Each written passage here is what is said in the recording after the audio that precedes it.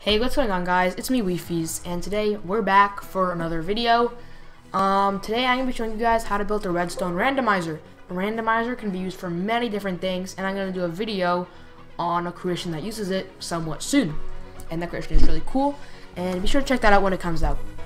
But, a randomizer is where you flick a, a button, um, it will give you one of two outputs, and you can have it branch off into another one, another randomizer, and so you can have many different possible outputs for whatever your redstone contraption may be.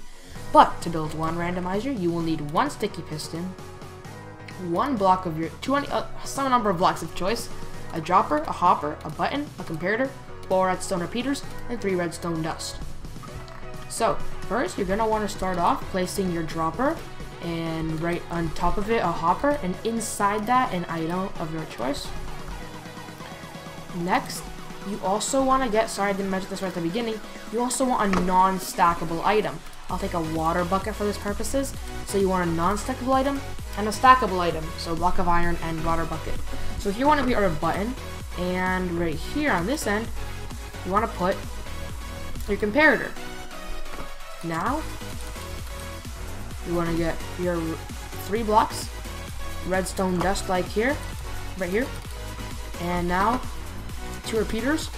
This one sets to no ticks, and this one sets to two ticks. You want a block here, sticky piston, with a block on its face right there. And now, you want to place right here a repeater and another repeater. So there it is, guys. That was pretty cool. I mean, that was pretty fast, but I think that, I mean, that's the design for a randomizer and I can show you guys and explain to you how it works. And let me use the redstone lamps. You don't need this, I'm just demonstrating. So, if we flick this button, you can see that that one turns on. Now that one turns on. That one turns on. And as you can see, it's totally random. Now, how does this actually work?